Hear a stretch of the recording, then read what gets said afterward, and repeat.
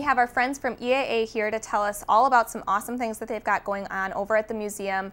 Uh, even though AirVenture has come and gone, they, they still keep very busy throughout the rest of the year. So I have Amelia Abraham here from EAA to tell us all about some, some really cool things you have going on at the museum. So first of all, Amelia, welcome. Thank you. Thank you so much for having yeah, me. Thanks for coming in. It's, it's great to have you guys in outside of the AirVenture thing because mm -hmm. I think it's a common misconception conception that EAA is only AirVenture, but you guys have so much going on. You're very busy throughout the year. It's it, really... It definitely is. We have year-round events internally, externally. Um, we do weddings, and we actually have our nose art display right now that's a big hit with all of our museum guests.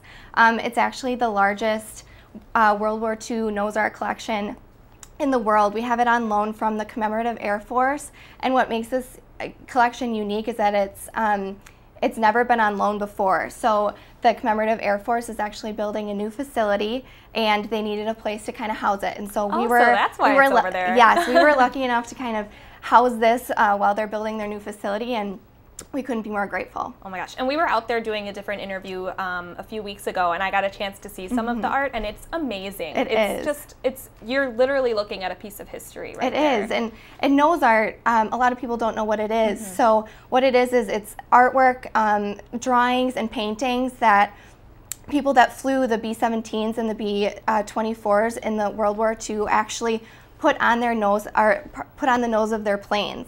And the goal of this exhibit is to really look at the stories behind the nose art and the, the men that flew those planes.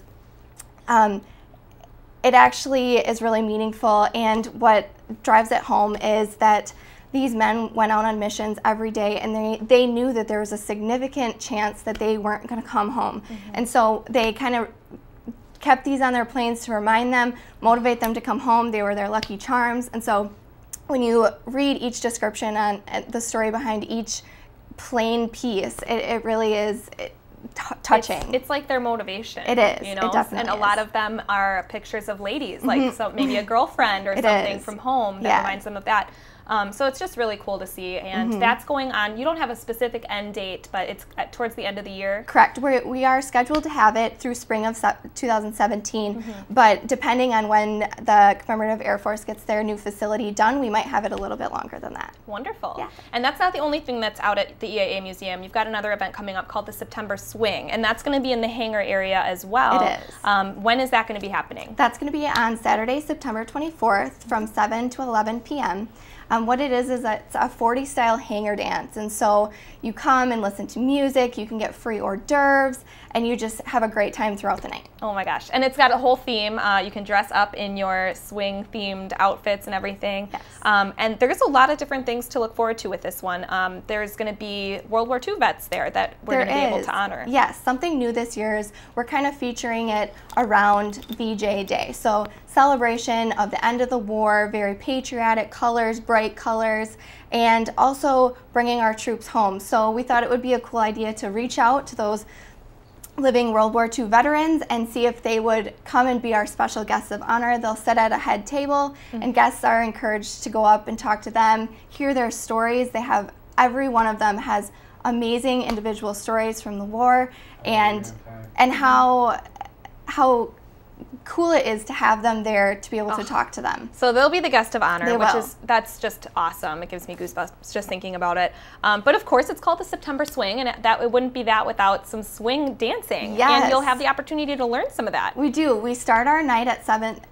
At 7.30, we start dance lessons. We have a dance instructor come in, Bruce Marshall from Green Bay, he comes in and he teaches half hour dance lessons. So if you have no idea how to swing dance, it's a perfect time to learn. Otherwise, you can kind of twirl around, show off your moves. Yes. Then at 8 o'clock, ladies must swing from Madison. They're a 19 piece all female jazz band. They'll take the stage and just rock the night. That is awesome. And they're called What Ladies Must Swing? Ladies Must Swing. That yep. is so cool. Perfect for the theme. Wonderful. So it's just a full, awesome night of mm -hmm. fun. Um, where can we get tickets and how much are they?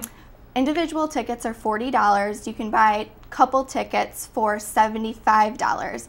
If you buy them after September 23rd at 5 p.m., the admission price does go up 5. dollars mm-hmm. You can find those at um, our website, eaa.org slash September Swing. So get your tickets soon, save a couple bucks. Mm-hmm. Um, but yeah, just a wonderful event that we're really looking forward to. We've got a couple minutes left, and we wanted to just touch and give a little plug to a couple other events yeah. you have coming up. And I can't believe we're already talking about this, but Christmas in the Air is coming up in just a few months. When we, is that going to take place? We do have Christmas on the Christmas in the Air. It's scheduled for December 3rd, which is a Saturday. It's a free holiday event for the community, families, children.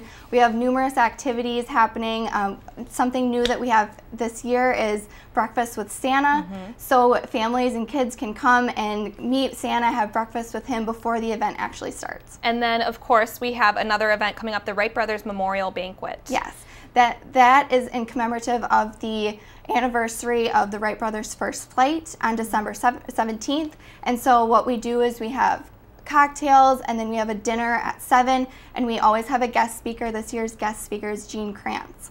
Okay, wonderful. And we can find more information about all of these events on the EAA Museum website. Um, and is that just EAA.org? Yes. Okay. Yes, and you just be able to go to the events tab and find all the information. Yes, and we will for sure have you back to talk about Christmas in the Air and yes. your other events coming up too.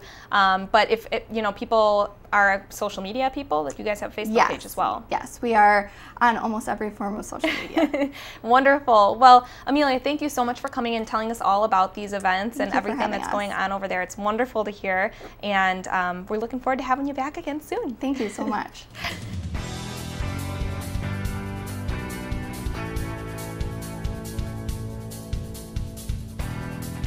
Oshkosh Today was supported in part by the Friends of OCM.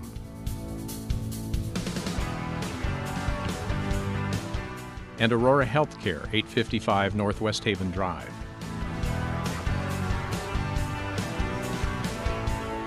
Set design provided by House of Flowers, 1920 Algoma Boulevard. Oshkosh Today